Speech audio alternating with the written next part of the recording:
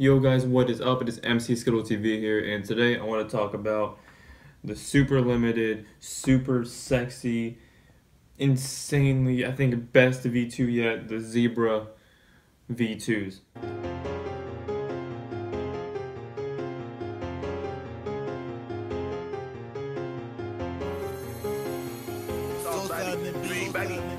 What's poppin' five? What's crackin' six? Okay, so information on them. There is only going to be 7,000 pairs. It's going to be exclusive to Adidas, so there's no uh, Foot Locker raffle, Foot Action raffle, Champs, whatever else there is out there. You can use the Adidas Confirmed app, but only in three cities, which is New York City, Miami, and Los Angeles. Today, if you want to use the Confirmed app, you go, I think around 12 p.m. Eastern Time to those locations, and then you try to reserve your thing. And there is a confirmed L app where you can practice. It's a simulator to see how fast you have to tap in order to get the shoe. And you have to tap really fast. Like, like I've never been lucky with the confirmed app. Um, I went with the Black Fridays. I went to DC. I was literally tapping the shit out of it so freaking fast. Nothing. it just froze on me. Okay, another way you can get into uh, try to get the shoe is adidas.com, the old fashioned way. Uh, 10 a.m. Eastern time is when they start and open or they go live, about 30 to 15 minutes before 10 o'clock. Just so you know, I'll be on prepared and do not refresh. Do, uh, you don't want to get blocked, especially with this release, because if you do get lucky, if you trust me, you won't regret it. Um, yeah, don't refresh. You get blocked, you're screwed. You're not getting back in. You're not getting the shoe unless you have another IP address.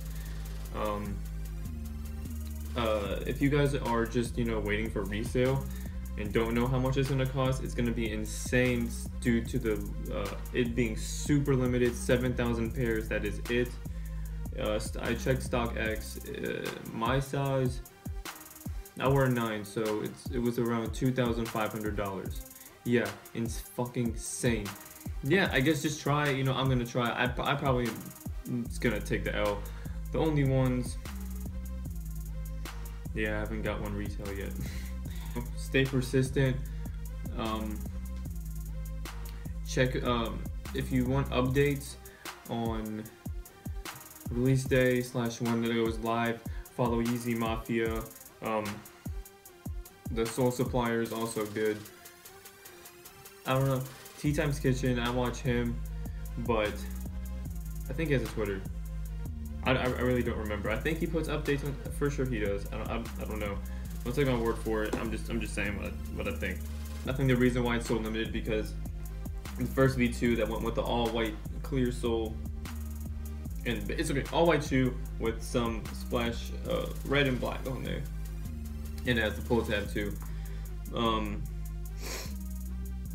size, uh, I would say, okay, so if you want to go true to size, you like this snug fit, like you want it to like literally be on your feet like that, I would go for true to size. Um, I guess if you have wide feet, I heard uh, to go half a size up. I don't think it's a good idea to go a full size up.